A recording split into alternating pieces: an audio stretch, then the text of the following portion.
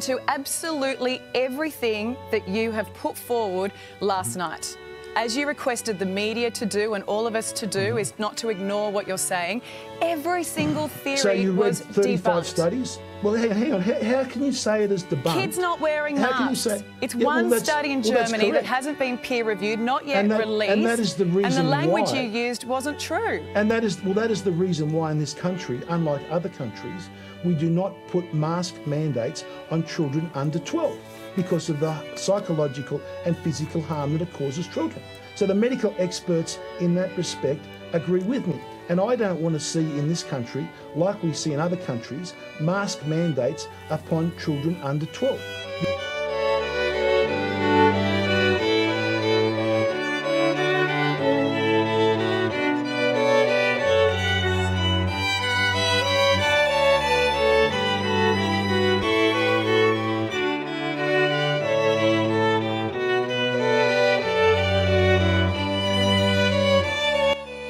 It's hard to find uh, it's hard to find these in in Florida. You got to look you got to look hard. But you know if you if you know where to look you can find them. So I, I brought I brought this right? So unfortunately we have a country right now where most people including I mean this is across across the political spectrum think that these things are saving lives.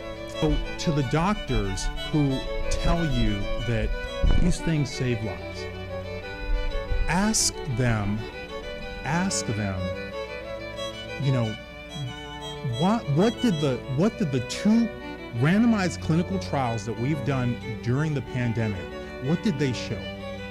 Ask them that when they tell you that these things save lives.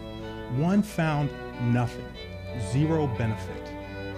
The other found a small benefit like a tiny benefit that's you know that's a little bit methodologically shaky and by the way, none of them, none of them found a benefit in young people. Not a single one found a benefit in young people.